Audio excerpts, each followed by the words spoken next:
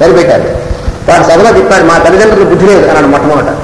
ఏమిటంటే రాముడు పేరు పెట్టారు నాకు నేను క్యాన్సిల్ చేసుకుంటాను నేను ఇంకా రావణస్వామి నాయకాన్ని పెట్టుకుంటాను అని చెప్పి. ఏమిటంటే అంటే రావణుడు మహానుభావుడు అందుకని వాడిని చంపాడు రాముడు అందుకని రాముడు మహా అంటే పడదు నాకని చెప్పి చెప్పాడు వాడు. ఆ పక్కన సభకు అధ్యక్షుడు గోపాలాచార్య గారు. నాకు ఈయన రాజగోపాలాచార్య. మహామేధావి సరే వీళ్ళంతా ఉపన్యాసం చెప్పనిచ్చి వెంటనే ఆయన ఏం చెప్పారంటే అయితే ఒక చిన్న తమాషా ఉందయ్యా. ఏమిటంటే రావణాసుడేమో బ్రాహ్మడు రాముడేమో నాన్ బ్రాహ్మడు అందువల్ల నీ ఇష్టం అన్నాడు. వీడికి ఈ రామస్వామి నాయకారికి అదొకటి ఉంది. వాడు బ్రాహ్మణుడు అంటే పడదు వాడికి.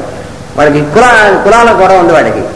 అందువల్ల వెంటనే అయితే నేను పేరు మార్చుకుని అయితే రావణ పేరు ఉంచుకుంటాను కదా. ఇది జరిగింది సార్. మెడ్రాస్లో పబ్లిక్ సభలో జరిగింది ఇది. అవతల రాజగోపాలాచారి మహామేధావి. అంతేకాకుండా దీని కొంతమంది పురాణ దీని గురించి రాశారు కొన్ని. సుత పురాణము గారిది భూత పురాణం అని రాసిన మహానుభావుడు. నమస్కారం చేసి గురించి అట్లాంటి అట్లాంటి వాళ్ళు ఉన్నారు. జగన్నాథాచార్య గారు తిరుపతి పండితుడు. ఆయన చేసింది. అంటే సభ నుంచి ఆవిష్కరణ ఆయన తీసుకొచ్చారు. సబ్సిడీ చేసినటువంటి వాళ్ళు ఉన్నారు. కర్ణుడు మహానుభావుడు దుర్యోధనుడు మహానుభావుడు ఇలాంటి వాళ్ళందరూ కూడా. వాళ్ళందరూ బాధలు ఇట్లాగే ఉంటాయి. అందువలన ఇక్కడ కూడా ఏమంటారంటే ఈ విదురుని మాటలు కౌరవుల ప్రణాళికకు మొదటికి మోసం తెచ్చినవై ఉన్నవి ఇతర పరిష్కారం రెండు విధములు.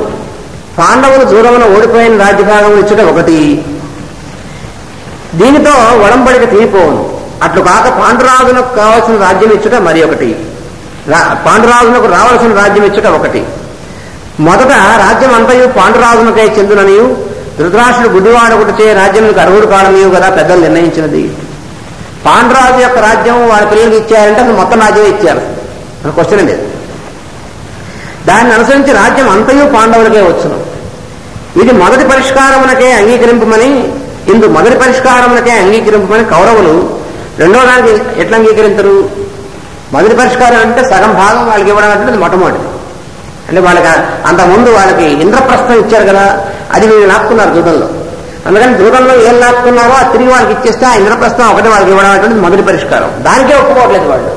ఇంకా రెండో పరిష్కారం అసలు వాళ్ళ తండ్రి యొక్క రాజ్యం వాళ్ళకి ఇవ్వాలంటే మొత్తం ఇచ్చేయాలి. ఇది ఒప్పుకుంటారు వాళ్ళకి అసలు? ఇక్కడ ఏమంటున్నాడు? వాడు తండ్రి రాజ్యం వాళ్ళకి ఇచ్చేయడం మంచిదంటున్నాడు కాబట్టి వాళ్ళు ఒప్పుకుంటారు వాళ్ళు? చస్తే ఒప్పుకోరు. విజయుడు ఇట్లు పలుకటం వల్ల కౌరవులకు కడుపు మండిపోయినది. వాడు వాళ్ళకి పూర్తిగా అసలు విధుడు అక్కడ ఆన్ ది స్పాట్ చంపేదాం అనుకున్నారు వాళ్ళు. అంత కోపం వచ్చిన వాళ్ళకి కానీ సాధ్యపడదు కాబట్టి వాడు పంపించేయమన్నారు. అని వాడు చేసిన పని దినము నృపాలనా పలుకు వేయును నేల సమీర సూతి నీ తనయుల పేరు విన్న బదతాడిత దుష్ట భుజంగమం దుష్ట భుజంగమంబు చట్టున గనల్ గనలొందు నింతయులు మున్నును చెప్పితిగాదే వాని చేతన భవదీయ పుత్రులకు తప్పదు మృత్యువరన్ని భంగులను. విధుడు చెప్తున్నాడు నిర్మోహంగా మాట్లాడుతుంది ఏమనంటే నిర్మహమానంగా చెప్తాడు విదురుడు. పలు మాటలేలా ఇన్ని మాటలేలా స్ట్రైట్గా చెప్తున్నా వినమన్నాడు. నీ తనయును చేయుచున్న యుద్ధపు మాటలు వినొచ్చు. భీముడు తోకద్రొక్కిన కోడి తాచువలే కోపించను. నీ కొడుకులు ఏమంటున్నారు? మాట మాటకి యుద్ధం యుద్ధం యుద్ధం అంటున్నారు. సత్వేధాలు అంటే అవతల వాడి చేతగారిని నిర్దేశం. యుద్ధం అని వీళ్ళ మాట అంటే అవతల ఎవడున్నాడు? భీముడు ఉన్నాడు వాడు అసలు మొత్తం నీ కొడుకులు అందరిని చంపేయగలడు వాడు మహాభారత యుద్ధంలో కౌరవులు నూరుగురిని చంపినటువంటి వాడు భీముడు ఒక్కడే. ఈ మిగిలినటువంటి వాడు మిగిలినటువంటి వాడు చంపారు కానీ కౌరవులు నూరుగురిని చంపింది భీముడే. అందుకనే భీముడు అంటే మరీ ఎక్కువ ఒళ్ళుమంటారు ధృతరాష్ట్రుడి తర్వాత. అందువలన చెప్తున్నాడు ముందే చెప్తున్నాడు విదురుడు. ఆ, వాడిని వాడిని రా నాయన నువ్వు చాలా నువ్వు అంటే నాకు ఇష్టం అని చెప్పి భీముడి తర్వాత కౌగులించుకుని వాడు నొక్కేయడానికి. అప్పుడు కృష్ణుడు వాడి ముందు ఒక ఇనప భీముడిని పెట్టాడు అక్కడ. ఆ ఇనప భీముడిని కౌగులించుకుంటే ముక్కలు ముక్కలు అయిపోయింది ఆ బొమ్మ. ఈ భీముడు పిచ్చివేసాడు వెళ్ళబోతున్నాడు. పెదనాయ గారి బాబా ఎంత పిలుస్తున్నాడండి సత్సాన సాగు పక్క ఉండమన్నాడు కృష్ణుడు. ఆ తర్వాత భీముడికి చెమటలు పట్టేసాయి ఇనప ఇనప విగ్రహం ఇంత ముక్కలైపోయింది. పెద్దనాయన గారికి ఇంత బలం ఉందని వాడికి అప్పటిదా తెలియదు. ధృతరాష్ట్రుడు తక్కువ వాడా. వారికి భా- భారత యుద్ధం అయ్యేప్పటికీ వీళ్ళ వయస్సే వంద సంవత్సరాలు ఉంటే ధృతరాష్ట్ర ధర్మరాజు వాళ్ళకి ధృతరాష్ట్ర వయస్సు ఎంత ఉంటుంది ఇంకా? వీళ్ళ పెదనాయన పైగాను కనీసం నూట యాభై సంవత్సరాలు ఉంటుంది. అప్పటికి వాడి ఇనప ఉక్కు బొమ్మని ఇట్లా పెట్టి నొక్కితే ముక్కలు ముక్కలు అయిపోయిందంటే వాడి బలం చూడండి. భీముడు వెళ్తే వాడు ముక్కలు అయిపోయి ఉండేవాడు ఎట్లాగైనా. ధృతరాష్ట్ర కౌగిలి? ధృతరాష్ట్ర కౌగిలి అంటారు. దానికి ప్రత్యేకమైనటువంటి పేరు అనమాట ఎవరైనా సరే గట్టిగా పట్టాడంటే వాడు ధృతరాష్ట్ర కౌగిలి అంటారు దాన్ని. అంటే అవతల వాడు ముక్కలు అయిపోవాల్సిందే అంటే మంచితనం చూపిస్తూ చంపటం. అది కౌగిలించడం మంచితనం క్రూరత్వం. వాడు నేచారు. వాడు ఏమన్నా ఉన్నాడే వాడికి. వాడు కుజుడే వాడికి. రెండు రెండు. వాడి బహుశా వృష్టికంలో కుదిరి కుదురు అయితే ఏంటుంది వాడికి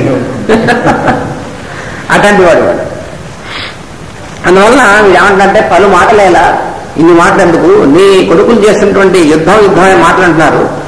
నీ కొడుకుల్లో అంటున్నటువంటి యుద్ధం అనేటువంటి మాట వింటే దేవుడు ఎలా ఉంటాడు? తోకదొక్కినటువంటి కోడి కాచువలే ఉంటాడు. జాగ్రత్త ఒళ్ళు దగ్గర పెట్టుకోమన్నాడు. అప్పుడు ఏమొకనో పూర్వం చెప్పి ఉంటుంది కదా వానికి కోపం వచ్చినచో నీ స్థుతులకు వాని చేతిలో మృత్యువు తప్పదు. ఎంత ఆలోచించానో విషయం ఇంతే. సూటిగా చెప్పాడు. నువ్వు ఎన్ని ఆలోచించినా ఎన్ని యుక్తులు చెప్పినా జరగబోయేటువంటిది మాత్రం ఇదేనబ్బా నీ ఇష్టం అన్నాడు.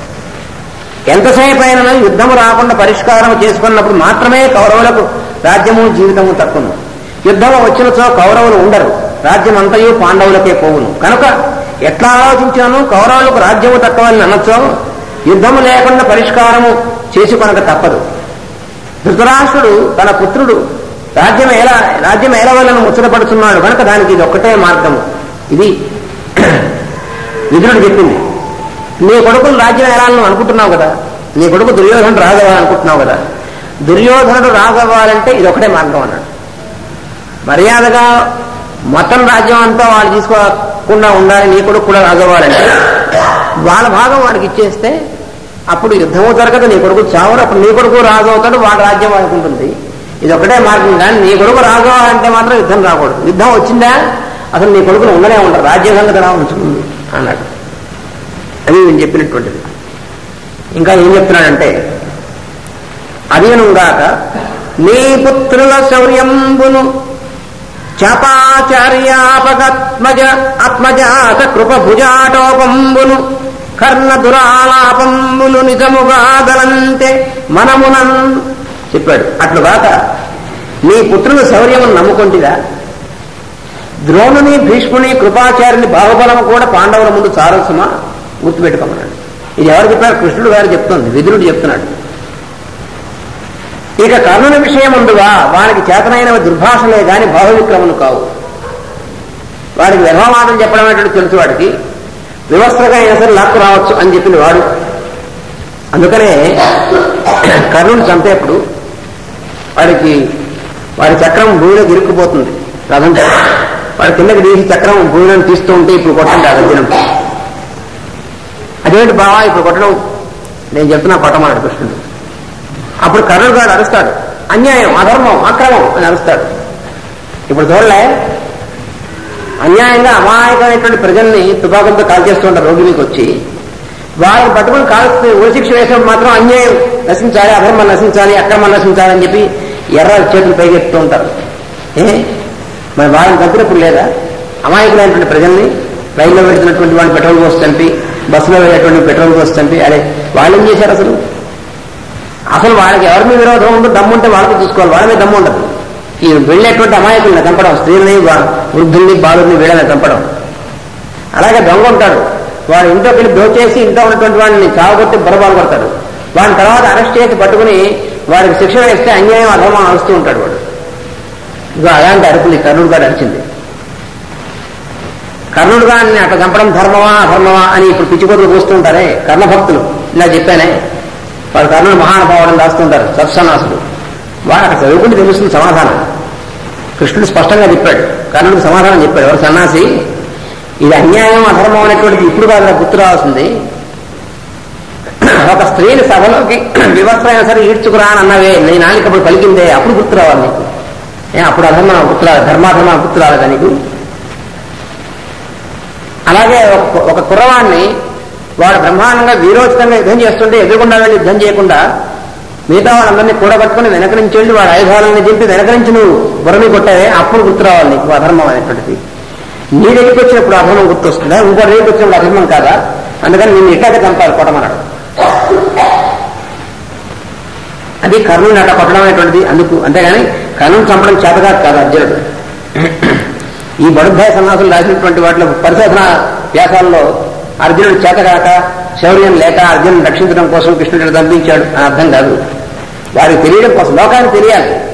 అధర్మం ఆచరించినటువంటి వాడిని ఏ విధంగా చంపచ్చు లోకానికి తెలియడం కోసం వాడిని అట ధర్మం అన్నాడు. ఇదే ధర్మం అన్నాడు. ఇదే ధర్మం కాదన్నాడు.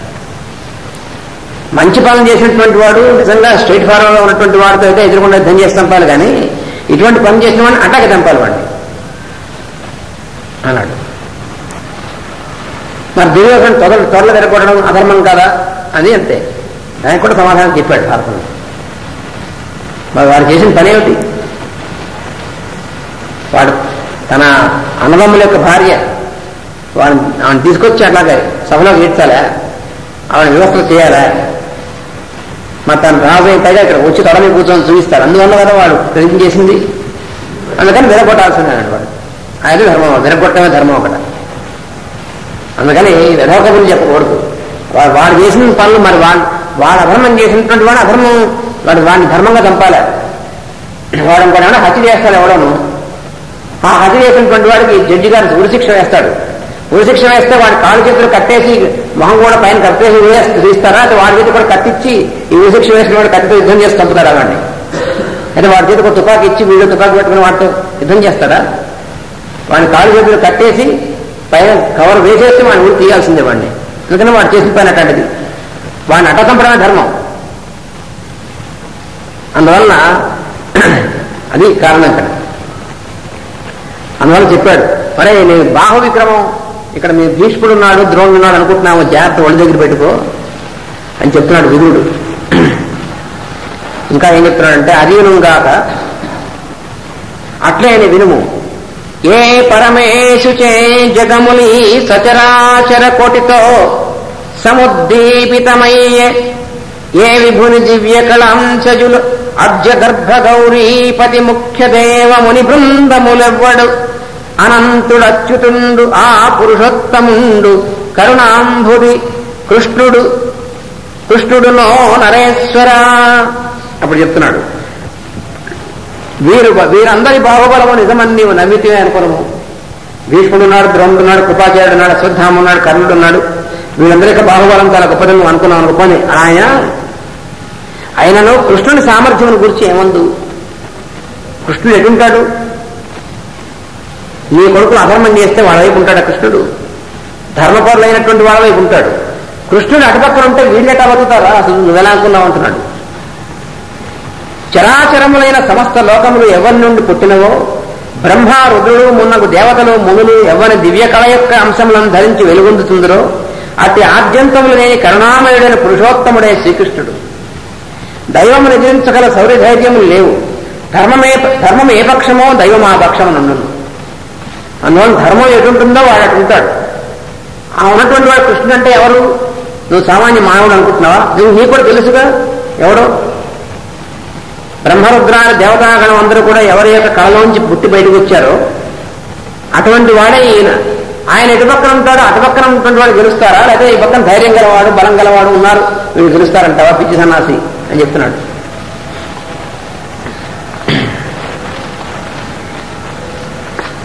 అట్టి జగన్నివాసుడు మురార్ మురాసుర భేది పరాపరుండు చేపట్టి సకుండు వియ్యమున్ బాంధవుడున్ గురుడున్ విభుండునై ఇట్టలమైన ప్రేమమున నెప్పుడు దొట్పడు చుండు వరలన్ చుట్టన వేళ చుట్టన వ్రేలనెవ్వరికి చూపగవచ్చుని పర్ధివోత్తమా. అని చెప్తున్నాడు ఏమనంటే శ్రీకృష్ణుడు లోకములు నివాసముగా గల అంతర్యామి. కృష్ణుడు అంటే ఎవరు ఓ శరీరంతో ఉన్నాడు ఇక్కడ అనుకుంటున్నావా? సమస్త లోకాలలోనూ సమస్త లోకాలు ఎవరి ఎందు ఉంటాయో అటువంటి అంతర్యామి అయినటువంటి వాడు పూర్వం నరకాసురుని యుద్ధపటుడుకు మురాసురుని సంహరించిన వాడు ఇట్టి భగవంతుడు పాండవులకు బియ్యమై చుట్టమై గురువై ప్రభువై మిక్కిలి ఆపేక్షతో మెలగచ్చు వారికి తోడ్పడుచుండును. అట్టి పాండవులను వేరెత్తి చూపుడికి ఎవరికైనా సాధ్యమా? అసలు యుద్ధం చేయడం సంగతి అట్లా ఉంచు వాళ్ళ కేసు వేరెత్తి చూపడం అనేటువంటిది ఏమైనా చేయగలరా? లోకల్లో ఎవరైనా సరే? ఆయన ఎటు పక్కన వాళ్ళనే సంహరించేది అని చెప్తున్నాడు. కావున పాండునందనుల కార్యవ్యక్తక రాజ్యభాగమున్ వావిరినిచ్చి రాజ్యమును వంశము పుత్రుల బంధువర్గమున్ గావముగాక లోభియగు కష్ట మట వింటివే భూవర. నీ ఉపేక్షణగు బో కులనాశము బంధునాశమున్ కనుక పాండవులను బాధపెట్టక ఔదార్యముతో వారి రాజ్యము వారికిచ్చి నీ కొడుకులను వంశమును బంధువులను యుద్ధమును చావకుండా కాపాడుకును. అందుకని నీ వంశనాశం జరగకుండా ఉండాలంటే నీ కొడుకులు చచ్చిపోకుండా ఉండాలంటే వారి రాజ్యం వారికి మర్యాద వేయి అట్లు కాక లోభియు నీచుడునైన దుర్యోధనుని మాట వింటివో నీ ఉపేక్ష వలన కులనాశము బంధునాశము తప్పదు అన్నాడు. అందుకని బంధునాశం తప్పదని చెప్పింది ఎవరు? కృష్ణుడు కాదు. విదురుడు. మన మామూలుగా నాటకాల్లో తప్పదు బంధునాశము అని కృష్ణుడు చెప్పినట్టు చెప్తారు. కృష్ణుడు చెప్పలే పాపం. ఒక్కనికై అప్పుడు ఇంకా చెప్తున్నాడు ఏమనంటే ఒకనికై ఎట్లు కులమెల్ల నొక్కడంపనెత్తి కొన దూచరిది నీతియే నుపాల. వినుము నా మాట నీ సుయోధనుని విడిచి కులము రాజ్యంబు తేజంబు నిలుపవయ్యా. ఒక్క దుర్యోధనుని కోసము కులమునంతటినీ నశింపజేసుకుని విధానం అవలంబించడం నీతి అనుకుంటివా? వాడొక్కడు బాగుండాలని చెప్పి నువ్వు అనుకుంటున్నావు. వాడొక్కడు బాగుంటే మిగతా వంశం మతం నాశనం అయిపోతుంది కదా. ఒకరి కోసం వంశం మొత్తాన్ని నాశనం చేసుకోవడం ఏమైనా అది నీతేనా? నా మాట విను. దుర్యోధనుని విడిచి వంశమును రాజ్యమును పేరు ప్రతిష్టను నిలుపుకొను. వాడినొక్కడిని వదిలిపెట్టు. వాడినొక్కడిని వదిలిపెడితే చక్కగా నీ నీ కుటుంబం బాగుంటుంది నీ వంశం బాగుంటుంది రాజ్యం బాగుంటుంది నీ కీర్తి ప్రతిష్టలు కూడా వస్తాయి. ఇన్నింటిని వదులుకొని వాడు ఒక్కడి కోసం పాకులాడుతున్నాడయ్యా అని చెప్పాడు. కానీ వాడు చేతి ఎక్కుతుందా వాడి కా వాడికి వాడు ఒక్కడే కావు. అది వాడుకున్నటువంటిది అని ఇట్లు ధరిమి చెప్పిన విని దుర్యోధనుడు రోష వివశుండై తా తానిన తనయ శకుని దుశ్శాసన నిరీక్షించి తామసంబున బలికెన్. ఇంకా వారి ఒళ్ళు మండిపోయింది. విదురుడిట్లు మొగమాటము లేకుండా నొక్కి చెప్పాను. వాని పలుకులు విని దుర్యోధనుడు రోషావేశము చెందెను. వానికి కోపమున ఒడలు తిరిగలేదు తన చుట్టూనున్న కర్ణ శకుని దుశ్శాసనుల వంక చూచి మిక్కిలి అహంకారంతో ఇట్లు పలికెను. వాళ్ళు మిగతా ముగ్గురు ఉన్నారు కదా దుష్ట చతుష్టయంలో. వాడు చెప్పాడు దుష్ట టైం అని. వాళ్ళ వాళ్ళ నలుగురిలో ముగ్గురు మిగతా వాళ్ళ చుట్టూ ఉన్నారు వాళ్ళు. ఎప్పుడు కూడా ఉంటారు వాళ్ళు. వాళ్ళకేసి చూసట్టు చూసంటున్నట్టు వాళ్ళతో. బాగా వీడికి విపరీతమైన కోపం వచ్చింది. విదురుని చంపేద్దామన్నంత కోపం వచ్చింది వాడికి. వచ్చి వాడు అంటున్నాడు దాసీపుత్రుని మీరలు దాసీనుంచేయకిటుడగునే పిలువగా ఆసీనుండై ప్రణడు కాసిని చెడిపో వెడలగా నడుపుడికన్ వాడన్నాడు ఏమిటంటే ఈ విదురుడు దాసీపుత్రుడు ఇట్టి వారిని నిర్లక్ష్యం చేయవలయను గాని ఇచ్చడికి పిలువ పిలు పిలువనంపదగున చూడు కూర్చుండి ఎట్లు ప్రేలుచున్నాడు వీని వల్ల పరిస్థితి విషమించి చెడిపోవును. వెంటనే వీడిని వెడలగొట్టుడు అన్నాడు వాడు. చూడండి ఎంత అహంకారం వాడికి. తన చిన్న ఆయన వాడు తన మంత్రి చిన్నప్పటి నుంచి వీళ్ళని జాగ్రత్తగా రక్షించి కాపాడుతున్నటువంటి వాడు భీష్ముడితో పాటు. వాడిని వీడు దాసీపుత్రుట వాడు. వీడు అందంగా అండి. పైగా వాడు ఏం చేయాలి? వాడు ఉంటే ఏమవుతుంటే ఇంకాసేపు వండిస్తే వాడికి పరిస్థితి విషమిస్తుంది అంటే అర్థం ఏమిటి? ఇంకాసేపు ఉంటే భీష్ముడు ద్రోణుడు వీళ్ళకి కూడా మనసు మారుతున్నాడు భయం అది వీడి భయం అంతా. కొంతసేపు విధుడు ఇంకా చెప్పాడనుకోండి వీళ్ళందరికీ కూడా మనసు మారి వీళ్ళందరూ దుర్యోధను ధృతరాష్ట్రం తిట్టి వాడి చేత కూడా వాడి మనసు కూడా మారుస్తారేమో. అది వాడి భయం. అందుకని వీడిని వెంటనే వెళ్ళగొట్టండి అన్నాడు వాడు. అని ఇట్టు దుర్యోధనుడు ఆడిన దురాలాపంబులు తనకు మనస్తాపంబు సేయం కార్యంబు విచారించి ధైర్యం అవలంబించి ఎండు ఎండు వలకనల్లక శరశరాసనంబులు విడిచి క్రోధంబు నడంచి వనంబున కుంచని అందు. ఇప్పుడు దుర్యోధనుడు ప్రేమిన చెడ్డమాటలు విదురుని మనస్సునకు తాపము కలిగించను. అతను ప్రశాంతముగా ఆలోచించి కర్తవ్యం నిర్ణయించుకుంది విదురుడికి చాలా బాధ కలిగింది. విదురుడికి బాధ ఎందుకు కలిగిందంటే దుర్యోధనుడు తను తిట్టాడనేటువంటిది పెద్ద విషయం కాదు. వాడు ఎలాగో అలాంటి కథలే. ఇవాడు కొత్త ధర్మం చెప్పినటువంటి వాళ్ళని తిడతాడు వాడు దుర్యోధనుడు. కానీ దుర్యోధనుడు తను ఇలా అంటుంటే ధృతరాష్ట్ర ఏమనాలి వరే నోరు మీ మేము చిన్న ఆయన వాడు ఈ చిన్న ఆయన పడుకుని దాసిపుత్రుడు అంటావా నువ్వు? అని తిట్టద్దు వాడు. నువ్వే బయటికి వెళ్ళు. విదురుడు బయటికి వెళ్ళినట్టు మన చిన్నప్పటి నుంచి ఉన్నటువంటి వాడు. అని అనాలి కదా? చిన్నప్పటి నుంచి అన్నగారే కాకుండా మహారాజుగా అన్నగారుగా అంతేకాకుండా గుడ్డివాడు పాపం అని ఇన్ని కారణాల వల్ల విదురుడు ధృతరాష్ట్రుణ్ణి ఎంత జాగ్రత్తగా సేవించాడు? అటువంటి వాడిని తన కొడుకుల అహంకారంతో ఇట్లా సభలో పట్టుకున్నట్టు అంటుంటే మాట్లాడకుండా కోరుకున్నాడు బెల్లగొట్టింది ఆయన. ఎందుకంటే వాడికి ఇష్టమైంది. అందువల్ల విదురుడికి మనస్తాపం కలిగింది ఎందువల్లంటే ఇందువల్ల కలిగింది కానీ దుర్యోధనం చూసి వాడు ఆత్రాలు వాడు కుక్క కుక్క మరుగుతే ఎంతో దుర్యోధనుడు అంటే ఎంత కదా లెక్క కాదు విదురుడికి కానీ చూశాడు ధృతరాష్ట్రాన్ని మాట్లాడతాడేమో వారిస్తాడేమో అని వీడు వారించలేదు. అంటే వాడు వారించకుండా మౌనంగా ఉండంటే అర్థం ఏంటి? దుర్యోధనుడు ఏమంటే అదే కరెక్ట్ వాడు. ఇక ఆలోచించాడు విధుడు. ఇక మనం ఇక్కడ ఉండకూడదు. ఎందుకు ఇంకో ఉండడం ఎవరి కోసం ఉండాలి ఇక్కడ? అప్పుడు వాడు నిర్ణయం తీసుకున్నాడు. ఆవేశం చెందకుండా కోపాన్ని దిగమీనుకొని నిర్ణయం తీసుకున్నాడు. ధైర్యం అవలంబించి మరలా ఆ దుర్జనంతో వాదింపక ఇంక వారితో వాదించాల్సిన అవసరం ఏముంది? దుర్యోధనుడితో వాదించడం మొదలెట్టాయనుకోండి దానివల్ల ఉపయోగం ఏమిటి? వాడు దుష్టుడైనటువంటి వాడు ఉంటాడు. వాడితో వాదిస్తే వాడు మారతాడా? అందుకని వాడితో దుష్టుడైనటువంటి వాడితో ఎప్పుడు వాదించకూడదు. ఎప్పుడైతే దుష్టుడైనటువంటి వాడు ఉంటాడో ఎప్పుడైతే ఆ సభలో దుష్టుడైనటువంటి వాడు చెప్పిందే అయినటువంటి వాడు ఉంటారో అక్కడి నుంచి బయటకు వచ్చేయాలి ఉండకూడదు. అది ధర్మం. తాను వాదించగలడు. వాడిని వాదించగలడు నోరు ముగించగలడు కానీ ప్రయోజనం ఏమిటి? దుర్యోధనంతో వాదించి వాడు నోరు ముగిస్తే మాత్రం ధృతరాష్ట్రుడు వింటాడా? అందువలన ఆలోచించాడు ఏమిటి ఇప్పుడు కర్తవ్యం? రెండే ఇక్కడ ఆల్టర్నేటివ్స్ వారితో వాళ్ళతో వాదించి వాళ్ళ చేత నోరు మూయించి వాళ్ళని శాసించడం ఒకటి. అది వేస్ట్ అది కాకపోతే రెండోది ఏం చేయాలి? అక్కడి నుంచి వదిలిపెట్టి వెళ్ళిపోవాలి. అక్కడ ఉండకూడదు. ఇంకా కొలువులో ఉండకూడదు.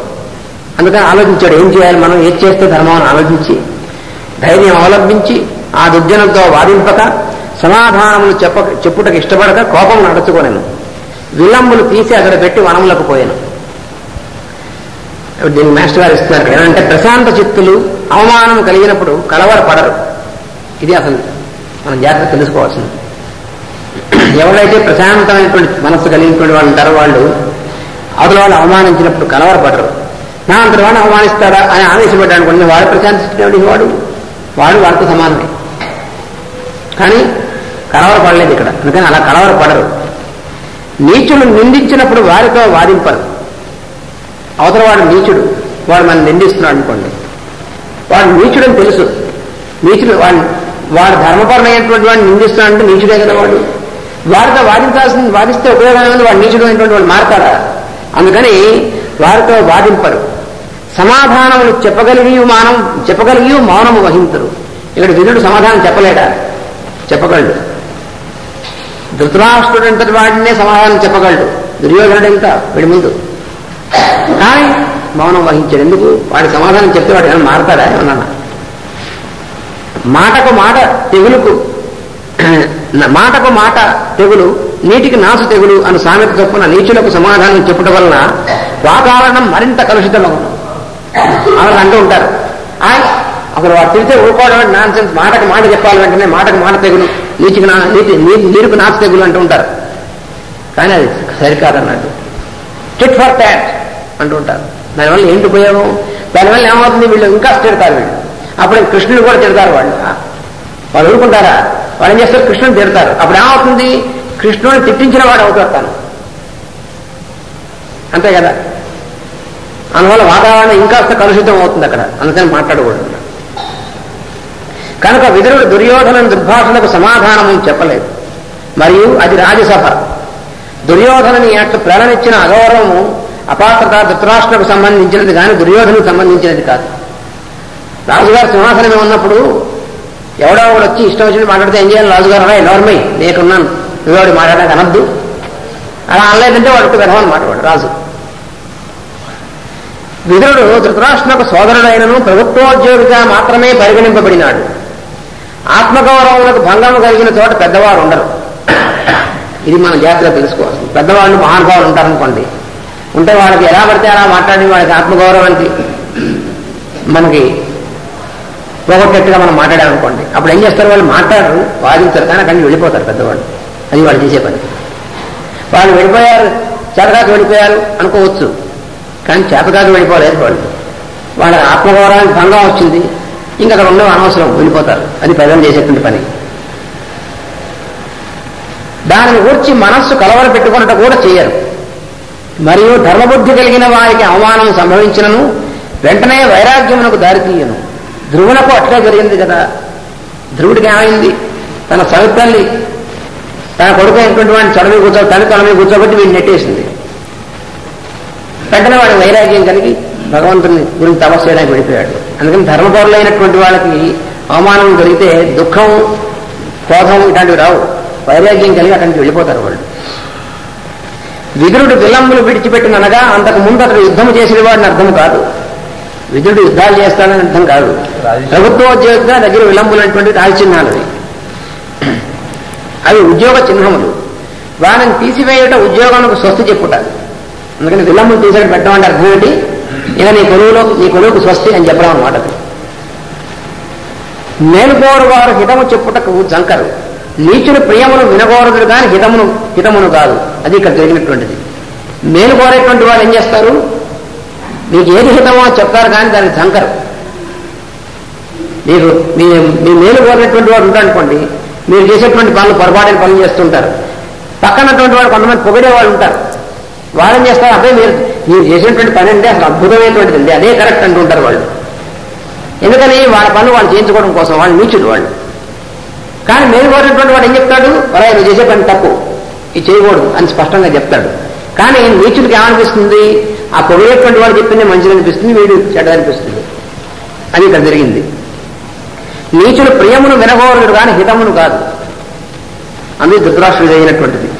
ప్రియము హితము కలిసిన వాక్కు ధృతరాష్ట్రుని వంటి వాడికి దుర్లభము. విదురుడు ప్రియంగాను చెప్తాడు హితంగాను చెప్తాడు రెండు చెప్తాడు విదురుడు. హితంగా చెప్తున్నా అన్నటువంటిది అప్రియంగా చెప్పడు పాపం ప్రియమైనటువంటిది హితం కానటువంటిది చెప్పడు. చాలా మహా ధర్మపరుడైనటువంటి వాడు. అందుకనే ధర్మ సూక్ష్మమైనటువంటిది ఏమిటంటే ప్రియం బ్రూయా సత్యం బ్రూయాత్ ప్రియం బ్రూయాత్ న బ్రూయాత్ సత్యమప్రియం. మనం చెప్పినటువంటి ధర్మం ఏం చెప్పాడు మనం అంటే సత్యం బ్రూయ తన సత్యం పలకాలు అవతలవాడికి ప్రియంగా ఉండడం కోసం అటువంటిది అబద్ధం చెప్పకూడదు. సత్యమే చెప్పాలి. సత్యం బ్రూయాత్.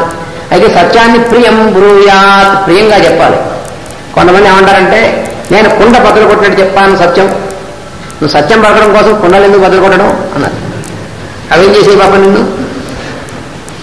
నిజం చెప్పడానికి. నువ్వు నిజం చెప్పినప్పుడులో కుండ పగలాలి అక్కడ.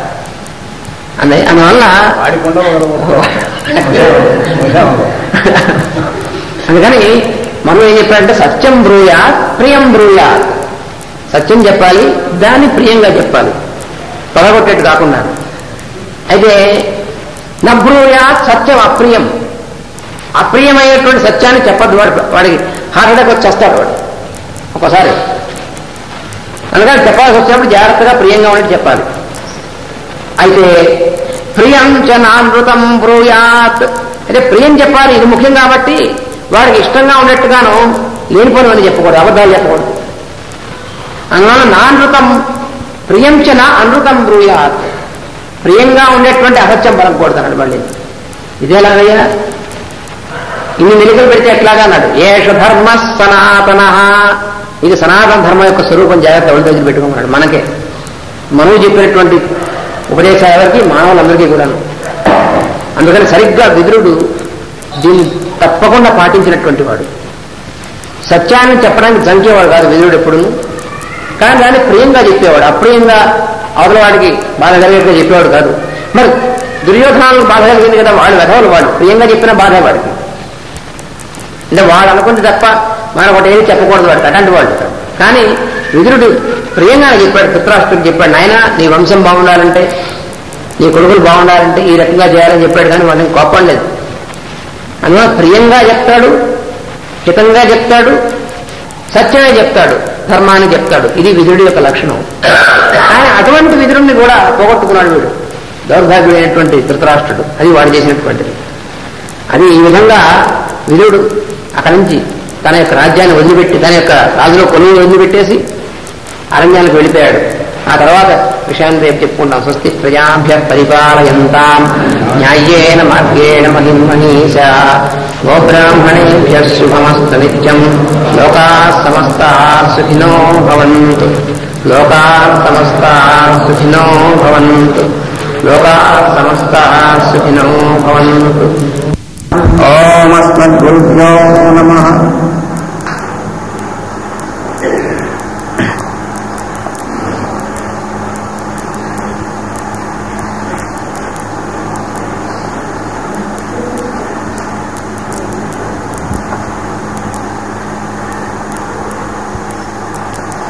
ఈ విధంగా సభలో దుర్యోధనుడు మాట్లాడినటువంటి చెడ్డ మాటలు వాటిని ధృతరాష్ట్రుడు వారించకుండా ఉండడం అనేటువంటి దానివల్ల విదురుడు అక్కడి నుంచి తన యొక్క ఉద్యోగాన్ని స్వస్తి చెప్పి తన విలంబులు బాణం అక్కడ వదిలేసేసి అంటే తన ఉద్యోగ చిహ్నం అయినటువంటి వాటిని వదిలేసి అక్కడి నుంచి బయలుదేరి తీర్థయాత్రలు వెళ్ళిపోయాడు విదురుడు వెళ్ళిపోతే?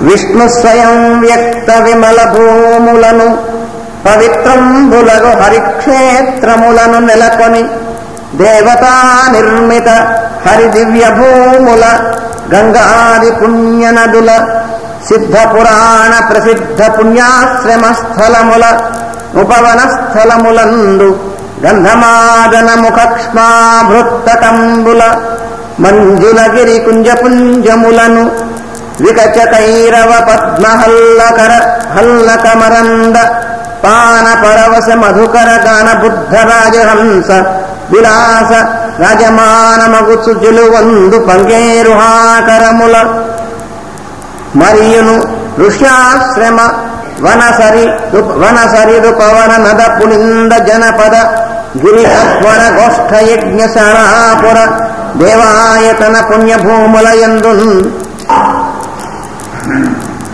ఈయన ఏం చేసేటంటే విదురుడట్లు వనములకు పోయి వివిధ ప్రదేశములు పర్యటించను.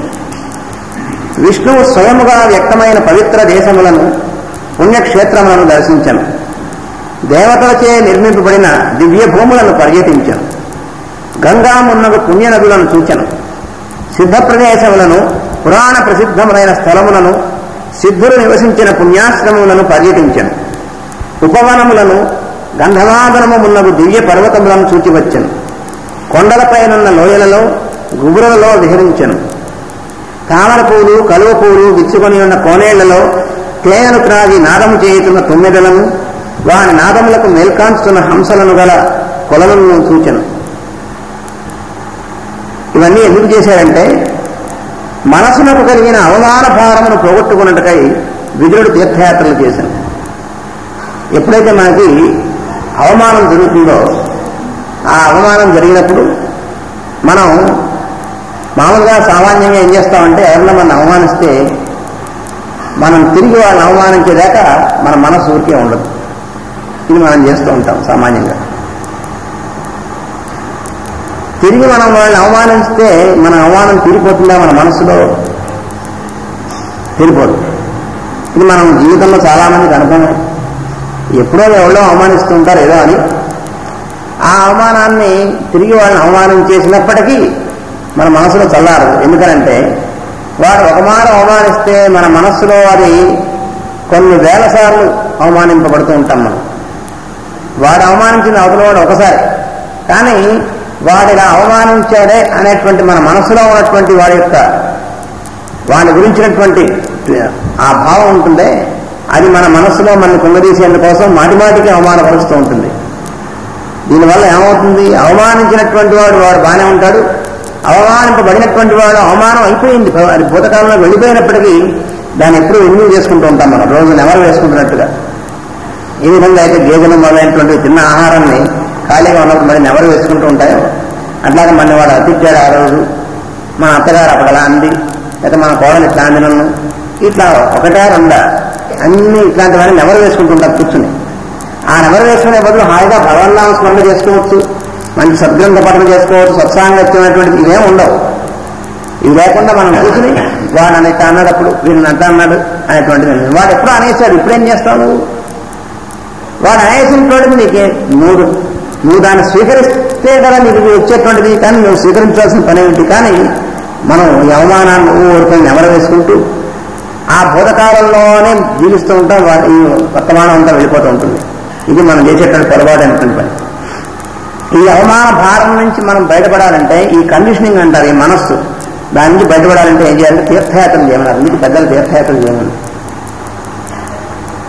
So here it is explained about the purpose of pilgrimage. What were the scriptures prescribe us to make a pilgrimage? It is not just a, a mere roaming around, but whenever we are insulted by someone, our mind gets depressed and very much disturbed. And how can we get rid of the impact of such an insult that was made on us? So, generally what people do is, if somebody insults us, anyone is insulted by another person, this person immediately wants to take revenge by insulting him back. But when you are insulted by someone else, can you get rid of this impression or impact of this by repelling, by repeating the same thing to the other person? It is in our own mind that we carry the impression and when we are insulted by other person only once, but in our mind hundreds and thousands of times we feel the insult and depress and get disturbed.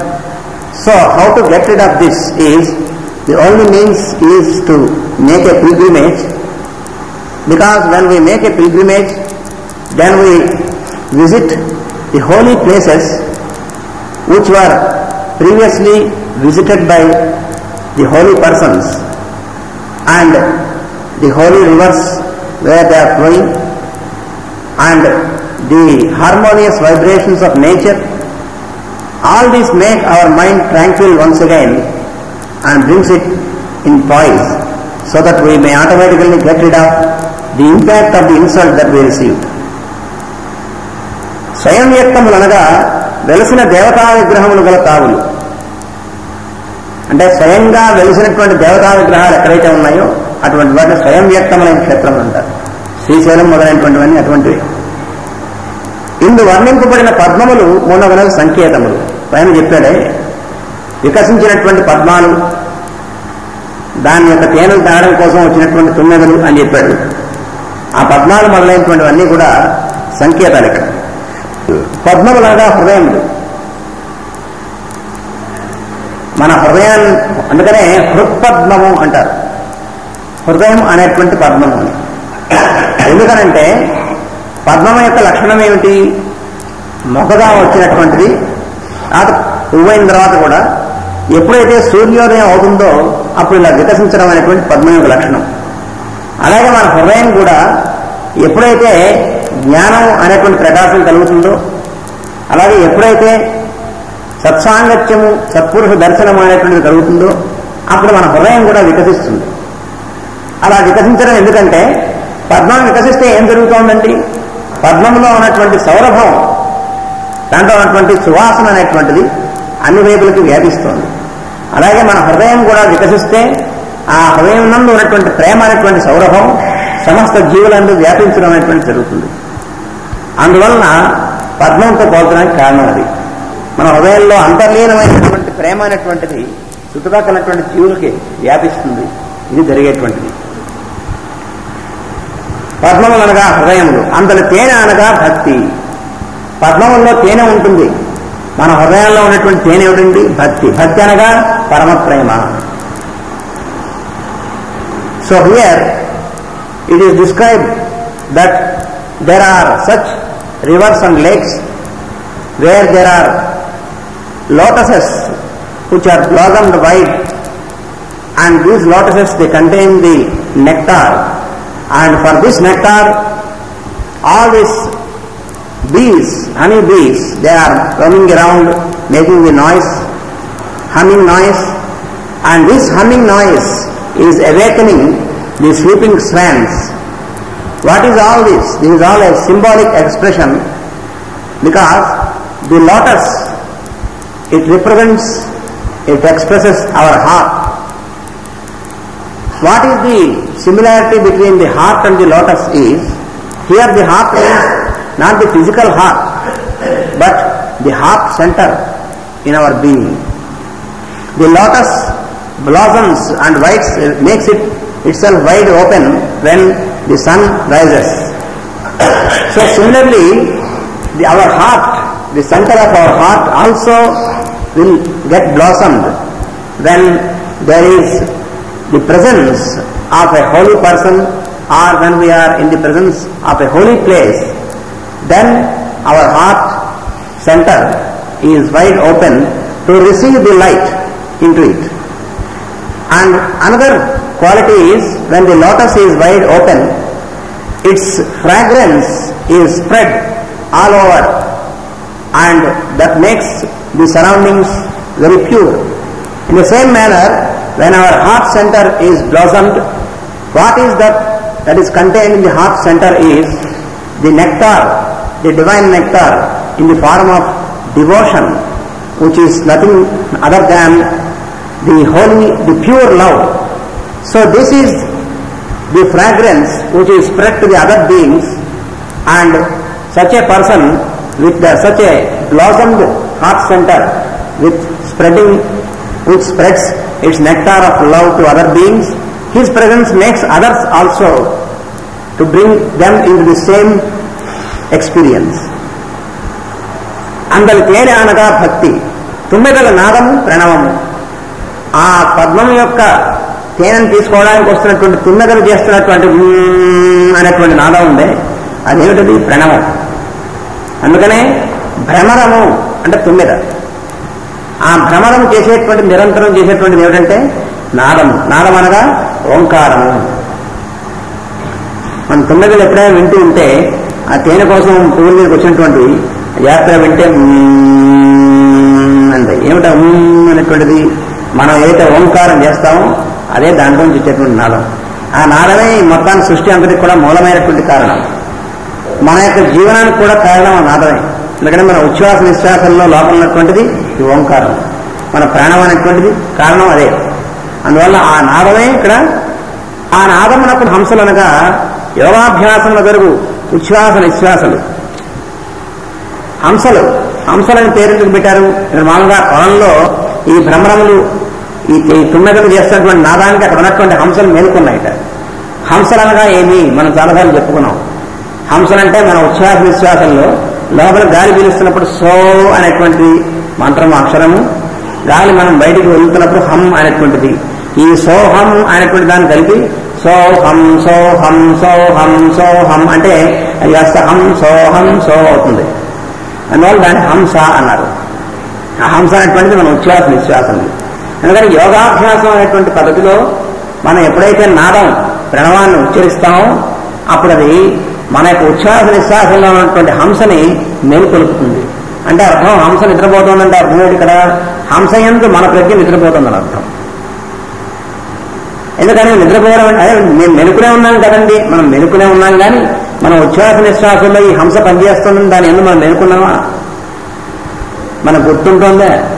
అందువల్ల మనం మామూలుగా మెలకులుగా ఉన్నప్పటికీ దాని మీద నిద్రపోతున్నాం. దాని మీద నిద్రపోవడం వల్ల ఏం జరుగుతుందంటే మన లోపల హంస పనిచేస్తోంది. ఆ మధ్యనటువంటి ఉన్నటువంటి నాదం అనేటువంటిది ఉంది అనేటువంటిది మనకు తెలియటం లేదు మన లోపల పరమాత్మ స్వరూపుడైనటువంటి ఆయన మనం నిద్రపోతున్నాం. అందువల్ల ఈ నిద్రపోతున్నటువంటి హంసల్ని మేల్కొలిపేటువంటిది నాదం అనేటువంటిది. అందువల్ల యోగాభ్యాసంలో ఉచ్ఛ్వాస నిశ్వాసాలు అనేటువంటి రెండింటినీ కూడా సమానమైనటువంటి విధంగా తీసుకొచ్చి ఓ బయట నాదం చేస్తాం. తుమ్మెద నాదం అంటే ఆ నాదంతో మనం ఉచ్ఛ్వాస నిశ్వాసల రూపంలో ఉన్నటువంటి హంస మేల్కాంచడం ఏంటంటే దాని ఎందు మన ప్రజ్ఞ మేల్కాంచుతుంది. అది జరిగేటువంటిది. So here it is describe that this humming sound of the honey bees that is made by the bees is awakening the swans in the lake so what are these honey bees This is what is the sound made by these bees. That sound is nothing other than what we make, what we call the pranavar nada, that is om.